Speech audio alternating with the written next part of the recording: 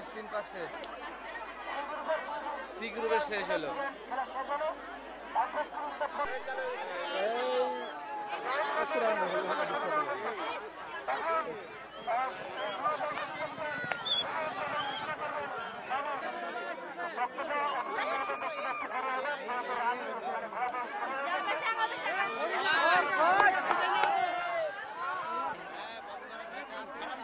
ওইখানকার আলটাই কাটা হয় না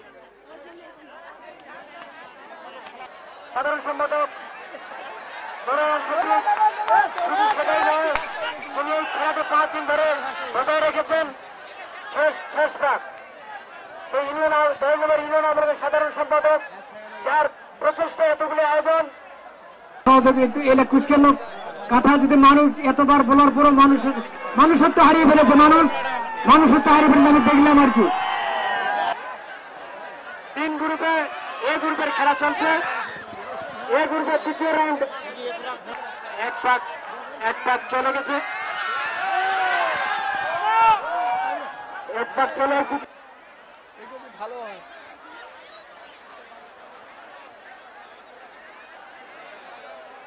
তৃতীয় পাক আসতেছে। তৃতীয় পাক আসতেছে। না না আসতেছে। পিছনে এই তৃতীয় এই তৃতীয়, তিন পাক তিন পাক। আরেক পাক, এই শেষ পাক আসবে এটা। শেষ পাক আসবে।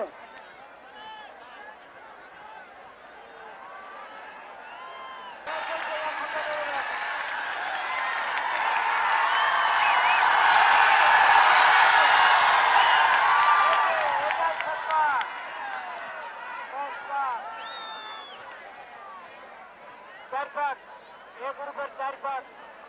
খেলা শেষ হচ্ছে। এ গ্রুপের খেলা শুরু হয়ে গেছে। এ গ্রুপের খেলা শুরু হয়ে গেছে। সম্ভবত নতুন এক এশিয়ান বাংলার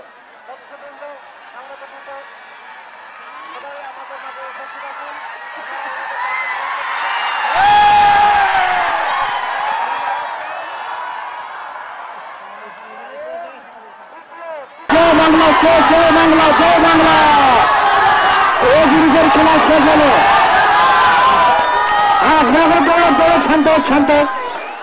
আমার ঘোড়া চালাতে খুব ভালো লাগে। আমার ঘোড়া চলার শিক্ষা এক বছর হচ্ছে আবার মাঠে খেলার হচ্ছে এই মাঠ দিয়ে আমার পাঁচটা মাঠ খেলা।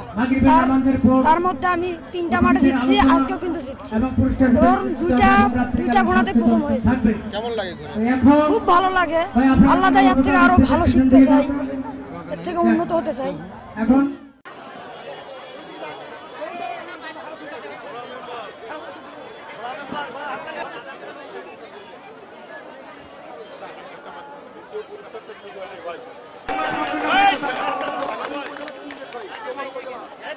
আজাদ করতেছে সংক্ষিপ্ত করুন সেখানে সাহেব ইসমাইলকে যাইতে দেন দ্বিতীয়। গ্রাম বাংলার আমাদের সেই প্রাচীন ঐতিহ্য যে এখানে ঘোড়দৌড় প্রতিযোগিতা এই এই খেলাগুলি আসলে গ্রাম বাংলা থেকে হারিয়ে যেতে বসেছে। কিন্তু আমাদের দিনাজপুর দক্ষিণ কোতলের ঐতিহ্য যে কমলপুর এই যুগের আলো ক্লাবের আজকে উদ্যোগে যে ঘোড়দৌড় প্রতিযোগিতা হচ্ছে এটা ষোলোতম। এখানে আপনারা লক্ষ্য করে দেখবেন যে এখানে হাজার হাজার প্রায় লক্ষ মানুষের সমাবেশ ঘটেছে এখানে এই উৎসবকে দেখার জন্য। তা আমরা মনে করি আমাদের গ্রামীণ যে ঐতিহ্য, বাংলার যে ঐতিহ্য, যে ঘোড়দৌড় প্রতিযোগিতা সহ কাবাডি এবং অন্যান্য খেলাগুলি যে আছে, এইগুলিকে টিকিয়ে রাখার জন্য এই ধরনের আয়োজন দরকার এবং এটি বিজয় দিবসকে সামনে রেখেই এই আয়োজনগুলো হয়ে থাকে। আমরা চাই আমাদের বাংলার সেই ঐতিহ্য আমরা ধরে রাখতে চাই এবং এই কমলপুর থেকেই শুরু, যাত্রা শুরু। আমরা এই মাঠ থেকে ঘোড়দৌড় মাঠ থেকে আপনাদেরকে আবার সাধুবোধ, অভিনন্দন জানাই।